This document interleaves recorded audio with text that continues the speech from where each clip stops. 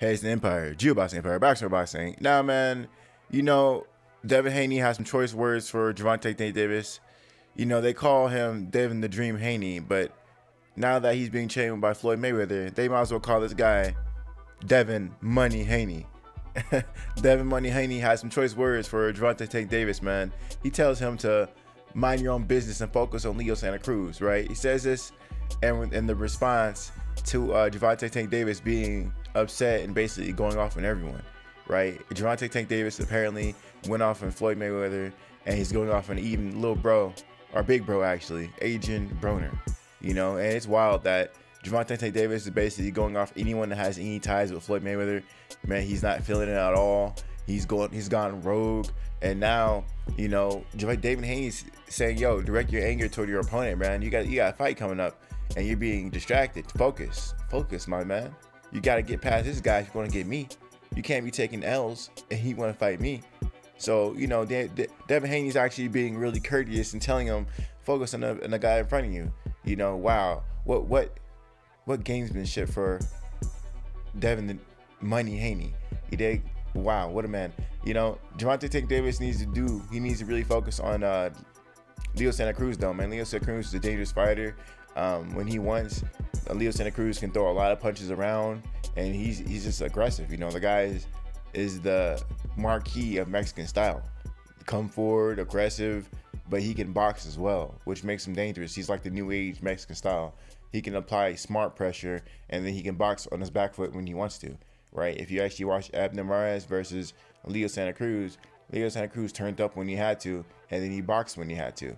You know, he said he fought toe to toe when he had to, and then he fought like a brother. butterfly, steamed like a bee when he had to.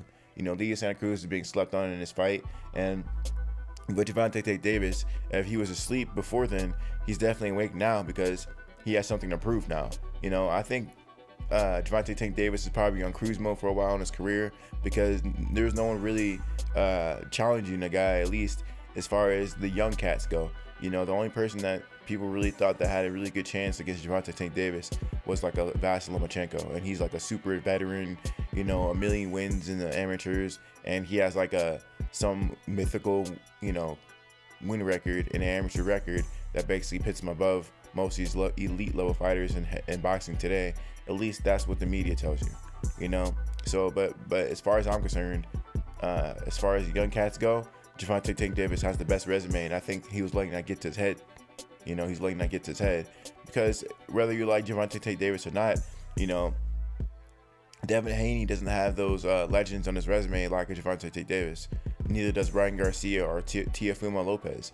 You know, uh, Gervonta Tank Davis has uh, that marquee win, Yuriorkis Gamboa. You know, so we're gonna see how this whole thing unfolds, and then you know, Jose Jose Pedraza and God willing, soon to be Leo Santa Cruz. So we're gonna see how Gervonta Tank Davis takes this man about this whole shots fired by De- Devin uh, Money Haney. You know, the, the, the you know the cash cow Devin Haney. You know he's talking trash now. He's taking you know he's taking a you know a playbook out of Floyd Mayweather's playbook because Floyd's teaching him. You know, so we're gonna see how this whole thing unfolds, man. Devin Haney, he's definitely gonna have a big fight to rival uh, Gervonta Tank Davis because Devin Devin Haney, he's talking trash and he's gonna have a big fight coming up. Definitely to off put the Gervonta Tank Davis Leo Santa Cruz fight. He's gonna have to, right? If not, Gervonta Tank Davis is gonna come up with too much momentum if he gets past Leo Santa Cruz. Now Leo Santa Cruz is a great fighter. I can't put anything past the guy, but if he does, Gervonta Tank Davis is gonna be on top, and Devin Haney is gonna really have to do something big to uh, get past Gervonta Tank Davis as far as fame and, and the media attention he's gonna get for his Leo Santa Cruz fight. You know, this fight, uh, Gervonta Tank Davis is is not a scary kind of fighter. I expect this fight to probably happen in a, a major uh, metropolitan area. Probably they're gonna give Leo Santa Cruz the advantage in this fight to make it more interesting. I'm guessing this fight will be in LA.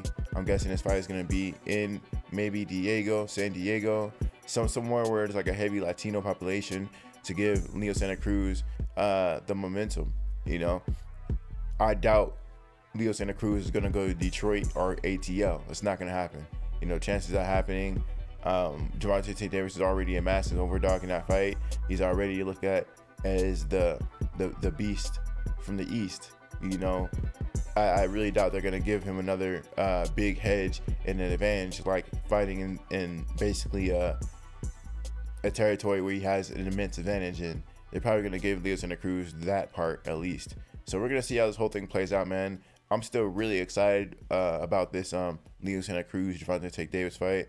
Leo Santa Cruz has a phenomenal chin, never been stopped. So we're gonna see how this whole thing gets played out, man. But anyway, man, let me know how you guys feel about it. Like, comment, subscribe. This is the Empire, Boxing Empire. Peace.